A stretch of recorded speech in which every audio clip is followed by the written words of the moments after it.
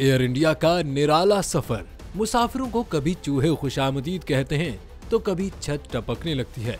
जी हाँ ये किसी गरीब के झोंपड़े का मंजर नहीं, जहाँ अचानक बारिश बरस पड़ी हो, बल्कि ये भारत की कौमी एयरलाइन है, जिसकी कारकर्दगी ने नरेंद्र मोदी की तरक्की का पोल खोल दिया। हाल ही में सोशल मीडिया पर एक वीडियो वायरल हो रही है, जिसमें दौरान परवाज जहाज़ की छत से पानी टपकना शुरू हो गया और मुसाफिर तैयारे के अंदर बैठे ही बारिश का मज़ा लेने लगे। हुआ कुछ यूँ कि एयर इंडिया की परवाज दिल्ली से लंदन की तरफ़ रवाना थी कि अचानक उसका हेड स्टोरेज लीक हो गया और पानी मुसाफिरों के सरों पर टपकने लगा, जिससे एयर इंडिया के मुसाफिर भी हज़ारों रुपए खर्च करने के बावजूद गरीब के झोंपड़े जैसा मंजर फील करने लगे, जहाँ अचानक बारिश बरसने से छत टपकने लगती है। सोशल मीडिया सार्फिन ने मोदी सरकार को मशवरा दिया है कि चाँद पर जाने के बजाय अगर पहले अपने मुल्क की एयरलाइन सही कर लेते तो ज़्यादा बेहतर था।